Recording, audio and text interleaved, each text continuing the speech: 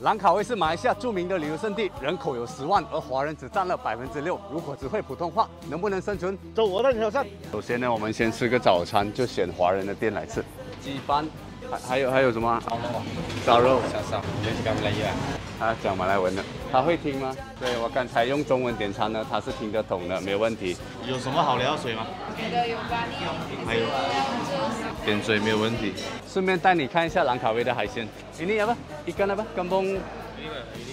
我很羡慕他、哦，为什么？因为他眼睛比我大。这个鱼呢是叫眼睛大 mata besar 大鱼。这个多少钱呢、啊？好，ini ikan apa？cakap 一公斤十六块。可是呢，他听不懂中文。这个辣椒一公斤多少钱呢、啊？不会不会。所以基本上中文在这里呢不太行得通，因为都是马来人开的档口啊。可是你来玩，你周末会来菜市场呢，是吧？走，我们看下一个。走，这个肯定没有问题的，走。老板可以帮我 check 大家缝一下吗？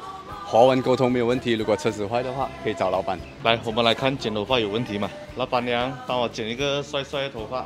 十五块。十五块没有问题。我们来买这里的特产。他们有花生酱啊，这最好了，这很最好了。买土产没有问题。对的呀。